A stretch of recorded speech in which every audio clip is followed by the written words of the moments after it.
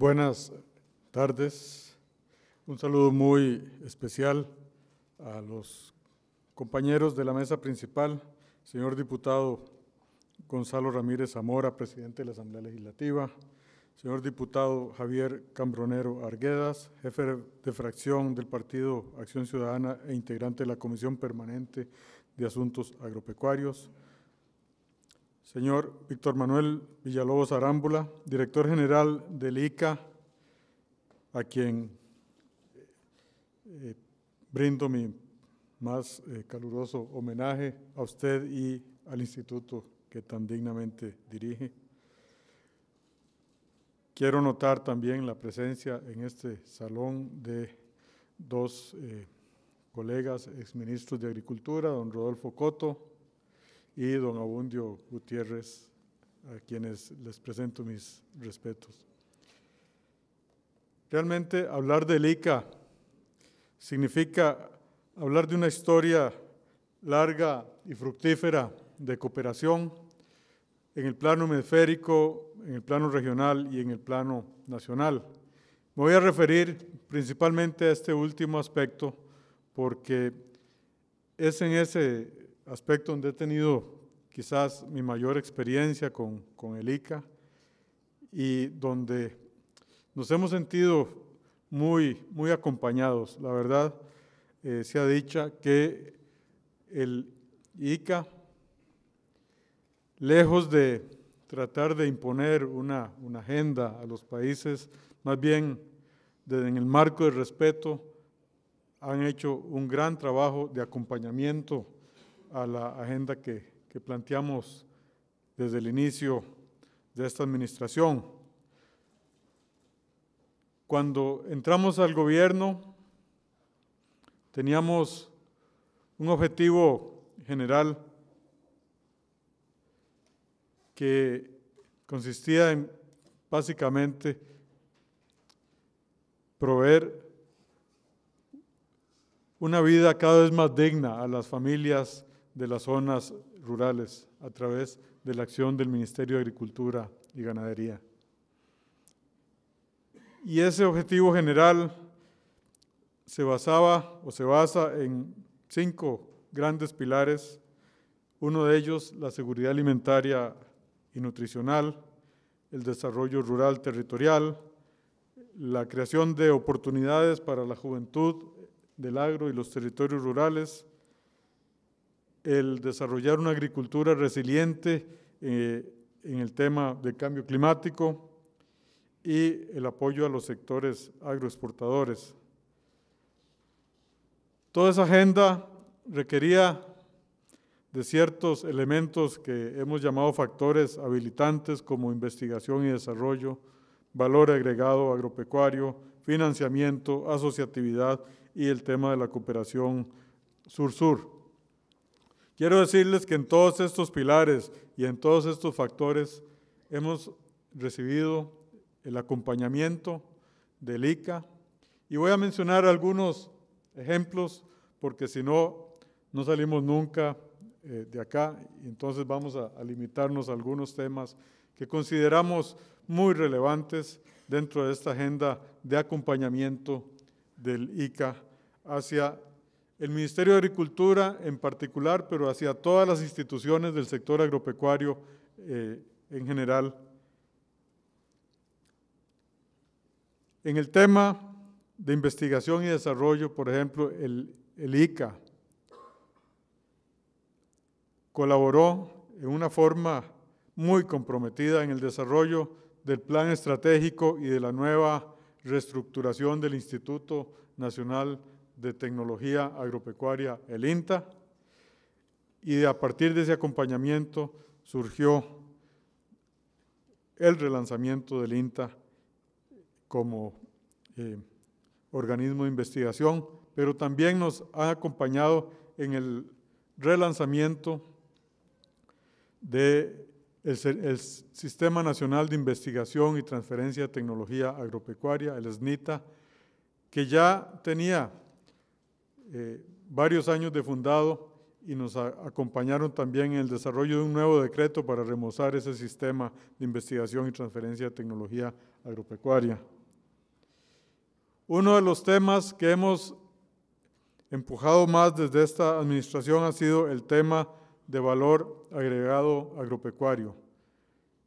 Y en eso hemos comprometido al Consejo Nacional de Producción para que lidere el proceso de la creación de centros de valor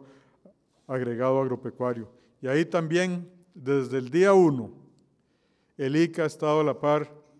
Aquí está don Nelson, que nos acompañó en ese proceso, pero otros funcionarios del ICA nos acompañaron en el planeamiento, en el diseño y en la implementación de los estudios para generar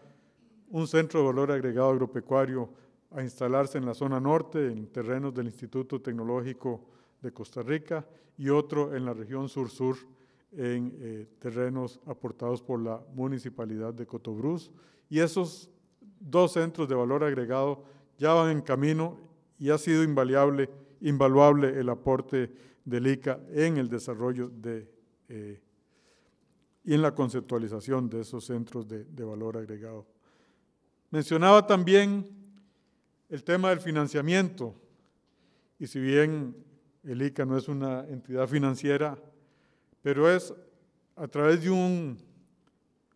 convenio entre el Sistema Banca para el Desarrollo y el ICA, que se desarrolla todo un programa de financiamiento del sector ganadero que incluye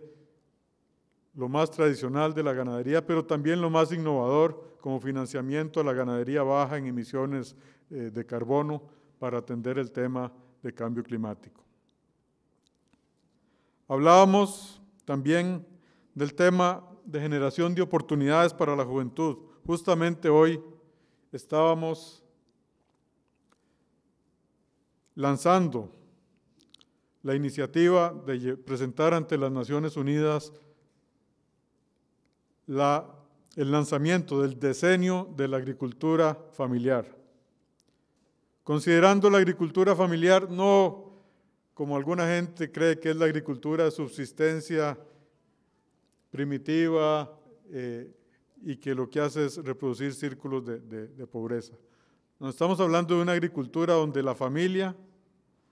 es capaz de generar un ingreso digno que permita a los jóvenes enamorarse del campo y seguir ahí y no aquella agricultura donde el padre le decía al hijo, estudie para que salga de la finca, para que tenga un mejor futuro. Hay experiencias muy valiosas en agricultura familiar donde los jóvenes pueden estar en el campo produciendo y en eso también, en el tema de agricultura familiar, hay una comisión especial eh, del, ICA eh, que nos ha estado acompañando y que nos ha estado acompañando en el proceso de llevar hasta Naciones Unidas ese eh, lanzamiento a nivel mundial liderado por Costa Rica del diseño de la agricultura familiar, donde la cooperación internacional ha sido fundamental para ir generando esa masa crítica, esos votos que nos acompañan en la Asamblea General de la ONU para que la Asamblea General de la ONU eh, apruebe, ojalá por unanimidad, la declaración del diseño de la agricultura familiar como una iniciativa, sí, de Costa Rica, pero con el acompañamiento vital y fundamental del ICA. En el tema de cambio climático ya mencionamos el tema de la agricultura, de la ganadería baja en emisiones, pero también nos ha acompañado en procesos de buscar la cooperación a nivel regional. Y entonces desarrollamos a nivel centroamericano un plan de agricultura climáticamente inteligente, una agricultura sostenible, adaptada al clima y que mitigue las emisiones de, de carbono y tenemos un plan ya a nivel centroamericano, con énfasis en el corredor seco centroamericano, donde también recibimos el apoyo fundamental del ICA. Y finalmente, hablábamos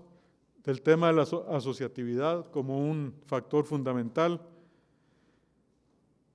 Como si fuera poco, como si ya no le hubiéramos pedido bastante al ICA, Recientemente les pedimos que nos acompañaran en el desarrollo del nuevo plan estratégico para el Infocop, para realmente remozar esa institución, para que tenga realmente el músculo que necesita para apoyar al sector cooperativo nacional. Y ahí también nos están acompañando de una manera muy inteligente. La acción internacional, la cooperación sur-sur, la cooperación regional centroamericana, el apoyo en temas estratégicos, todo eso hace que yo en este momento lo que tenga es un gran agradecimiento hacia el ICA. Quiero expresarlo acá y decirle al ICA, en la persona de su director general, don Víctor, muchísimas gracias y larga vida al ICA.